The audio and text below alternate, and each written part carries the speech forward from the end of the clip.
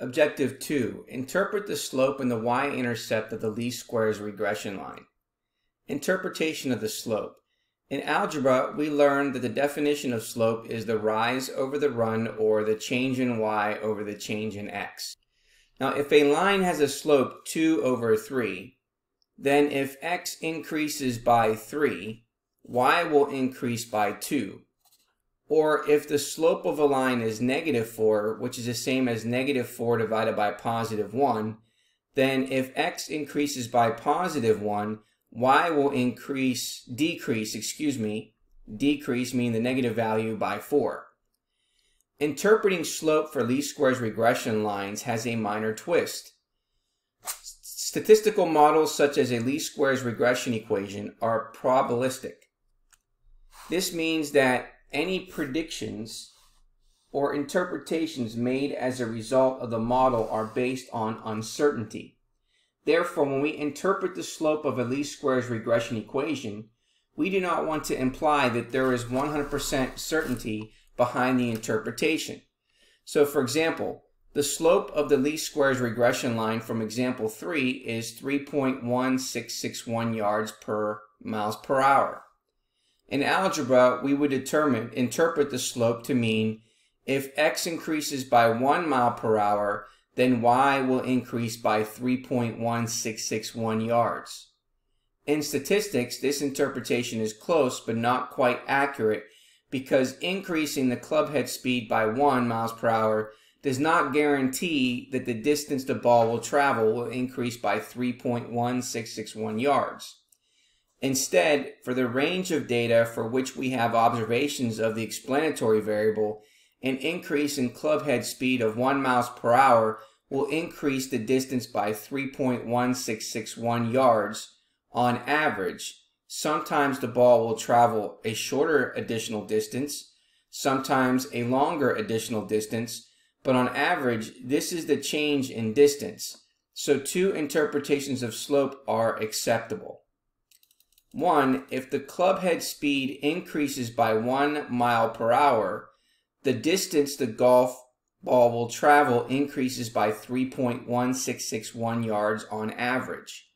Or, if a club head speed increases by one mile per hour, the expected distance the golf ball will travel increases by 3.1661 yards. Now the interpretation of the y-intercept. The y-intercept of any line is the point where the graph intersects the vertical axis. In general, we interpret a y-intercept as being the value of the response variable when the value of the explanatory variable is zero. It is found by letting x equal zero in an equation and solving for y. To interpret the y-intercept, we must first ask two questions. Number one, is zero a reasonable value for the explanatory variable?